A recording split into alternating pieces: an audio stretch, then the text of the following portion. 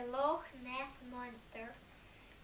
When we went away on holiday, we took our caravan. We just arrived in Scotland when the rain began. We couldn't walk on the mountains, and there wasn't much to do.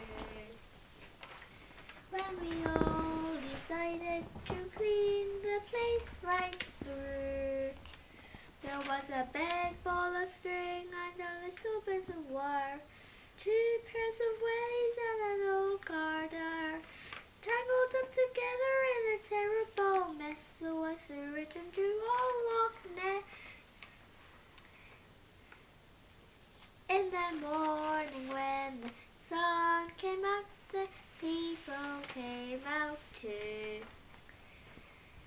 said they seen the monster, it was really true. They sent a crack reporter from the news on BBC. They, but I couldn't really tell him when he spoke to me.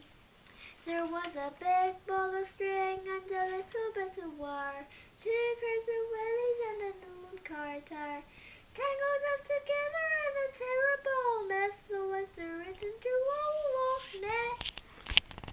Yay!